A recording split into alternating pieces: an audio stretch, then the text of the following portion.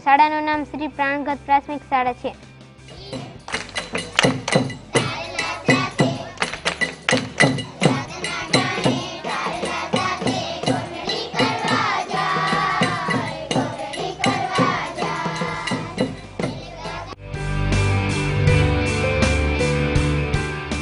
મારી શાળા નીચાણવાળા વિસ્તારમાં હોવાથી વરસાદનું પાણી અને ગામનું પાણી શાળા શાળાના દરવાજા આગળ ભેગું થાય છે.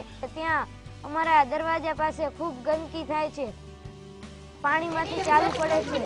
ત્યાં પડવી તો કપડાં બગડી જાય છે.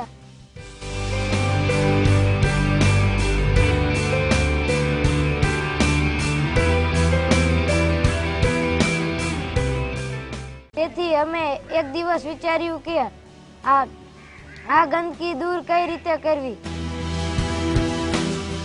એમાંથી અમે કડિયાને મળવા ગયા અને તેમની પાસેથી સેલા લીધી. તો જો નીચે પાના પાથરવાના કપચા નાના નાના આમ લાગત મૂકવાના. અને ઝીણી ઝીણી આશી ધોવે માટી આવે ને પૂરવાની અને પીછું ઉપર પાણી સાંટવાનું વ્યવસ્થિત. હું અમુક જગ્યાએ જો પાત્રા ઊંચા ને ત્યાં ઠપ કરીને બેહાડી દેવાના. અને નેવલીમાં થઈ જાય એ રીતનો રસ્તો બનાવવાનો આ કામ કરવા કો- કોણ કોણ સહયોગ આપશે?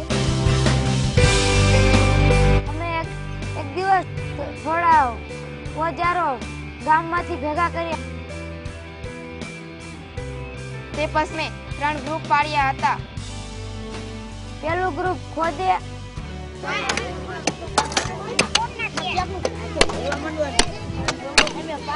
બીજું ગ્રુપ તેને ભરી અહીંયા લાવે.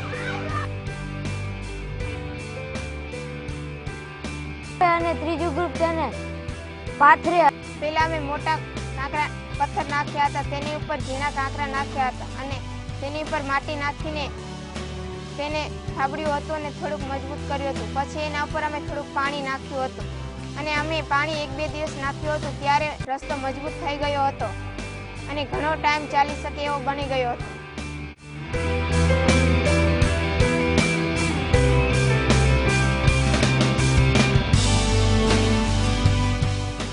હવે મને લાગે છે કે હું મારી સમસ્યા જાતે ઉકેલી શકું છું.